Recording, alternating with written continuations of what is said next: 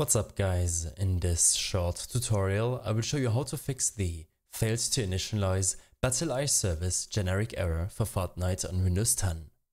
This should be quite an easy tutorial, but if you still have any questions then leave a comment and let me know.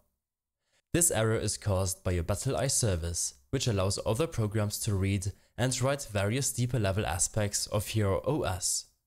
In order to fix this, make sure that Fortnite and your Epic Games Launcher are not running in the background. You should make sure to exit out of your Epic Games Launcher in your system tray. Next, open up your File Explorer. Here, navigate to your program files, Fortnite, Fortnite Game, Binaries, Win64, BattlEye. Here, double-click the uninstall batch file which will open up your command prompt and execute the uninstall for you.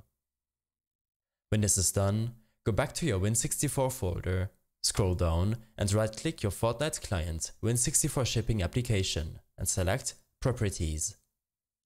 Here in the Compatibility tab, select to run the program in compatibility mode for Windows 7 and run it as an admin.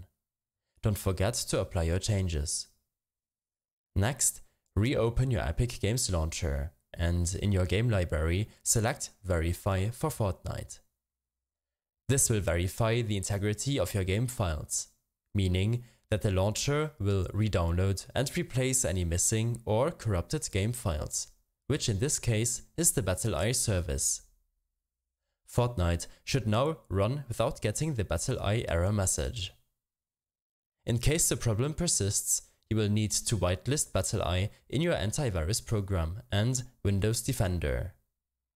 This could be considered expected behavior, as the majority of antivirus applications are designed to block programs which continually run in the background as BattlEye does. Search for Firewall and hit enter to open up your Firewall and Network Protection System Settings window. Here, select Allow an app through Firewall and the new window will open up.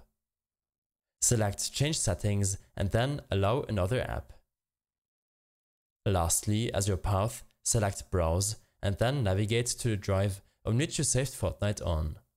Program Files, Fortnite, Fortnite Game, Binaries, Win64, BattlEye and select the BE Service application. Make sure to uncheck this application and apply your changes. Lastly, search for percentage temp percentage and hit enter. This folder contains all of your temporary files, saved by your programs and should be deleted. You can safely delete everything in this folder, some files might remain, so just leave them there. I hope this helped you out, leave a comment if you have any questions and see you in the next one.